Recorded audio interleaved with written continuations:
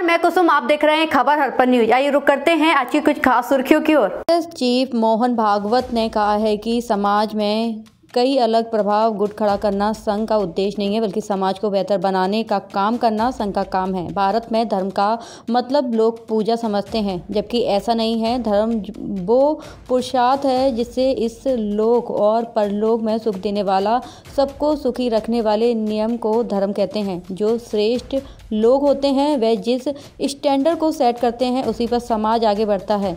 संघ का काम श्रेष्ठ समाज गढ़ना है। हमें अपनी ज़िम्मेदारी का ठेका देने की आदत है। पहले भगवान को देते हैं, अब कलयुग में भगवान तो आ नहीं सकते तो सरकार को देने लगे हैं। लेकिन जब तक आप स्वयं जागरूक नहीं होंगे, तब तक कुछ नहीं होगा। समाज को जागरूक बनाना आरएसएस का काम है।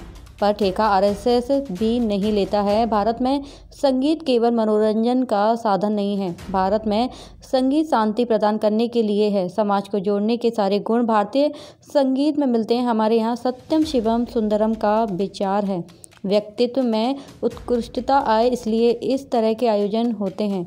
हम लोग इसका प्रदर्शन भी करते हैं। प्रदर्शन का उद्देश्य वाहवाही लूटना नहीं है, बल्कि बाकी लोगों को इस तरह की क्रियाकलापों के प्रति आकर्षित। भारतीय संगीत में हर एक वादक का अपना महत्व है, यही समाज का हाल है। हम सागर के बिंदु हैं, एक बिंदु के अलग होने का पता नहीं चलता, पर बिंदु तो सागर से अलग हो ही जाता है, जो सबको लेकर चलता है। उसको बिंदु के जाने का पता होता है जो अकेले चलता है। उसे पता नहीं चलता है देश को आगे बढ़ाने के लिए। हम लोग जहाँ हैं, वहाँ से बेहतर काम करने का प्रयास करना होगा। सुरताल के अनुशासन संगीत चलता है। हमारे यहाँ सत्यम शिवम सुन हम लोग हो गए। तो सारे देश में विचार चला कि हमारे ही घर में हम विदेशियों से कैसे हार गए? क्या करने से हम ठीक होंगे? और तरह तरह के प्रयास, राजनीति से लेकर तो सामाजिक सुधारों तक तरह तरह के प्रयास चले। उन सारे प्रयासों का सम्मिलित फल हमको 15 अगस्त उन्नीस सौ सैतालीस को मिला। तो इस देश को बनाना है तो उससे भी लंबा प्रयास करना पड़ेगा। क्योंकि हम लोगों ने देश की लूट देश की अव्यवस्था, इन सारी बातों को बड़े लंबे अरसे से झेला है। वो जो नुकसान हुआ है, वो नुकसान इतने आसानी से भर के आने वाला नहीं, ऐसा सब मिलकर प्रयास करते हैं। तो दस बीस साल लगेंगे। अभी तो ऐसा सबका मिलकर प्रयास शुरू भी नहीं हुआ।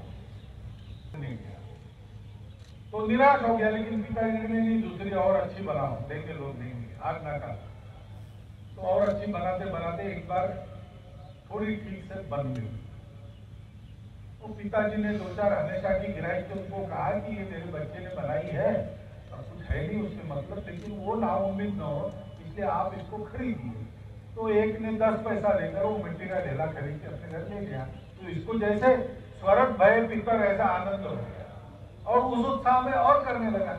ऐसा करते करते उसकी भी मूर्ति अच्छी होने लगी।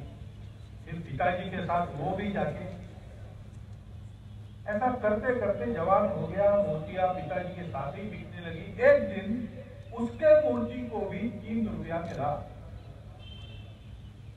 उस दिन बाज़ार के बाद घर आ रहे थे तो उसने पिताजी को कहा, पिताजी, आपकी मूर्ति को तीन रुपया मिलता है।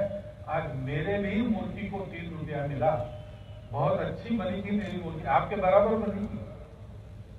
तो पिताजी ने कहा, बहुत अच्छी तो बनी थी, लेकिन देखो आँखों की पुतलियों का रंग में तुम बहुत ज़्यादा गाढ़ा कर थोड़ा फीका करते तो उसने कहा हाँ मालूम है मालूम है पिताजी, मैं भी बहुत दिनों से मूर्तियाँ बना रहा हूँ, हमको सिखाने की आवश्यकता नहीं सबका एक सुर में एक रचना का वादन सुना जिसको कहा जाए कि वो मेलोडी है। लेकिन दूसरा प्रकार है, वो भी अपने भारतीय संगीत में है, हारमोनी। उसको हमारे यहाँ प्रमुखता नहीं है। पाश्चात्य वादन में हारमोनी को प्रमुखता है। लेकिन हारमोनी क्या होती है कि अलग अलग वाद्यों का अलग अलग वादन एक साथ होता है तो उनके मेलन से ही एक सुंदर अनुभव संगीत का है। तो ऐसे सांगीत